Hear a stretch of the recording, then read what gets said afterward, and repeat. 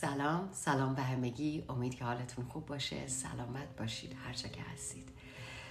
امیدوارم که سال خوبی شروع کرده باشین. امیدوارم که سالی پر از تجربه تجربه های ناب باشه واسهتون. تو این رشته از استوری ها می‌خوام در مورد یه موضوعی صحبت کنم که قبلا هم صحبت کردم ولی الان به یه فرم و شکل دیگه می‌خوام با یک داستان شروع کنم. داستانی که خودتون می‌تونید تو یوتیوب هم سرچش کنید ببینینش. همش همش یک یادآوریه. همش یک یادآوریه به خودم و به شما. هر کسی که در دریافته.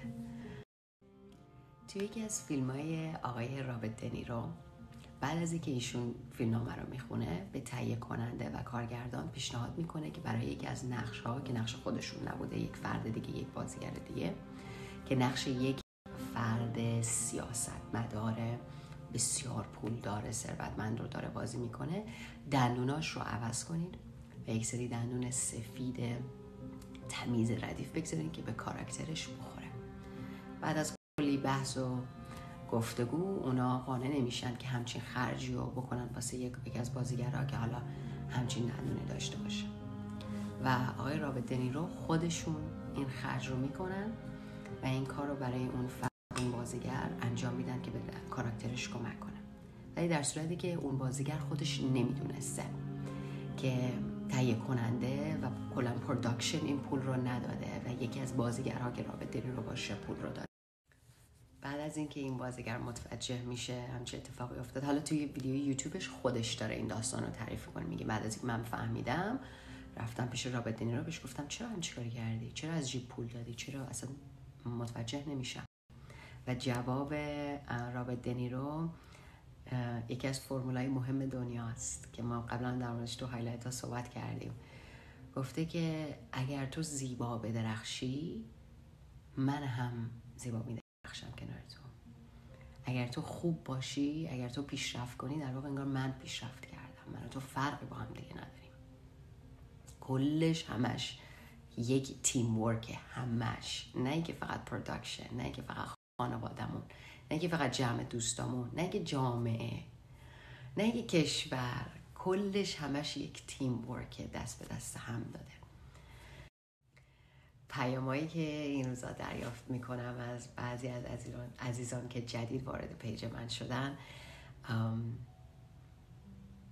یادآور این درس به من شد یادآور این درس امر خیلی مهم به من شد. من همیشه به خودم گفتم اینجا قبلا خیلی تکرار کردم. کلام ما آینه قلبمونه. یعنی کلاممون داره میگه اینجا چه اتفاقی داره میفته. تو یک ثانیه پیام دادن من یک ثانیه یک فرد رو که می‌بینم 24 ساعتش رو می‌تونم تشخیص بدم و تخیل کنم.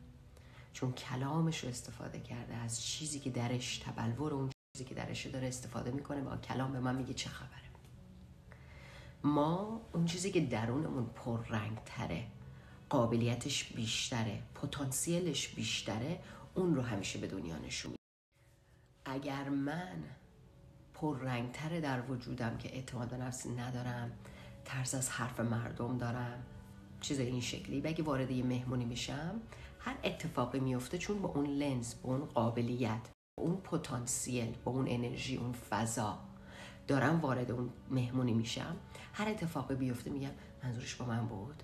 داره به من میگه به خودم بگیرم خودم رو با این حرفی که این فرد زده تعریف کنم آیدنتیفای کنم. چون با اون پتانسیل اون بودن دارم function می‌کنم و عمل می‌کنم. و بالعکس اگه من این intention رو داشته باشم این نیت رو داشته باشم بگم من امروز که می‌خوام برم مهمونی می‌خوام با آدم بیشتری آشنا شم می‌خوام connect کنم می‌خوام ارتباط برقرار کنم می‌خوام حرف بزنم. به محض اینکه یه نفر بهم بگه وای چقدر نمی‌دونم مثلا این رنگ لباس بهت میاد همین میشه شروع اون فضایی که می‌خوام ایجاد کنم. دیگه تمرکزم روی اینه پتانسیل و قابلیتم روی اینه. اون چیزی که پررنگتر هستش قابلیتمون پتانسیلمون فضایی که درش استارت می‌زنیم و شروع می‌کنیم اونی که پررنگتر و بیشتره اون رو به دنیا هدیه می‌کنیم. و من میام چی نگاه چی می‌کنم؟ من رو چیزی باید تمرین کنم به نام قوه تخیل و تشخیص. اگر یک فردی به من یک پیامی میده یعنی از شگفتی دست و چشاش استفاده می‌کنه و همچین پیامی من میده این یک ثانیه از 24 ساعتیه که داره حس می‌کنه. و من می‌تونم تشخیص بدم تو چی داری اون 24 ساعت حس می‌کنی؟ و با اون همدل هستم. به جای اینی که مثلا همین چند وقت پیش حرف یک کتاب بود یادمی که خیلی دور بود به من گفت بد نمی‌خوره فلان کتاب تو خوندی؟ بد نمی‌خوره با لحن و حالت تنه. وقتی که به من این با این حرف گفته شد من دو راه حل دارم. یا به خودم می‌گیرم یا خودم باش تعریف می‌کنم. می‌خوام حمله کنم الان واکنش نشون بدم. بعد بشینم خودخوری فکری کنم و و و و همینجور اینا فولدر و فایلی که تو مغز آدم باز میشه. یا این یکی از راه حل هاست.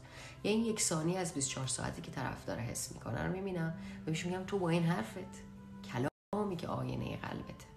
کلامی که آینه چیزی که در اون داره میگذرنی من اینو که به خودم نمی‌گیرم. ولی من متوجه میشم که تو داری با کلامت به من میگی چی میگذره؟ 24 ساعتت چه خبره؟ 24 ساعتت تو با این جمله میگی من یک ذهن بسیار محدود کننده شرطی شده دارم که آدم ها رو توی کتگوری و دست بنده می‌ذارم. اگه تو این شکلی هستی پس اینقدر حالته.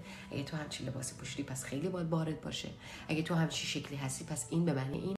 و این ذهن بسیار شرطی شده محدود کننده که آدم ها رو توی دست بندی و کتگوری فقط چون با چشم این چشم داری می‌بینی نه با چشم دلت.